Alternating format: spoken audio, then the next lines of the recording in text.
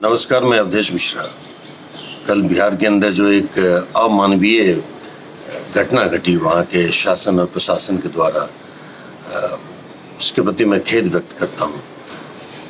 पप्पू यादव जी जो एक ऐसे जन नेता हैं, जिन्होंने हमेशा ही जनता की सेवा के लिए अपने उद्गार को हमेशा ऊर्जित किया है। चाहे वो प्राकृतिक आपदा हो, सामाजिक आपदा हो या राजनीतिक आपदा हो। लोगों के घर घर तक पहुंचकर, लोगों की भलाई के लिए, लोगों की सेवा के लिए, चाहे तन, मन, धन, किसी भी चीज़ से हो, कभी भी पीछे नहीं हटे।